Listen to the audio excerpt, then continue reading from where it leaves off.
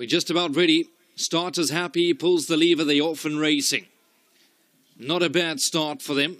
Give them a chance to settle down. The first to land running is Russian Empire bright green sleeves towards the inside, a one length leader. Davy Crockett's there with the white blinkers a bit strong in second. Then comes Dammy the white and green in third. Behind them is Siberian Fox. Further back to Horsey.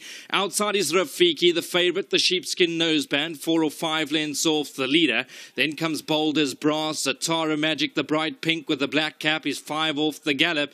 Towards the back is Le Bonheur, racing six lengths off the speed. Flying Asterix still needs to get past them all. They head up towards the 500, and in front is Russian Empire. Rafiki's only two lengths off the leader. Dammy's right there in the centre. Then comes Horsey the Blue. Further back to Zatara Magic, but Russian Empire shot for home, gone two lengths clear. Zatara Magic and Rafiki is now starting to lengthen down the centre. Zatara Magic, Rafiki towards the outside, still two off the leader. Yeah, Zatara Magic, the bright pink with a black cap, shot for home and won't be caught today. Zatara Magic, it's another Another one for Gavin Smith. Second will go to Russian Empire. Rafiki behind that for third, and then came Horsey in fourth.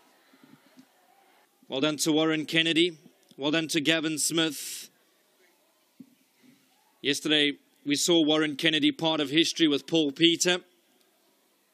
He's back here in and he continues to bang home the winners. Nice horse this. He quickened up in good style. He sat three or four lengths off them turned on the engines and won going away in the first leg of today's PA.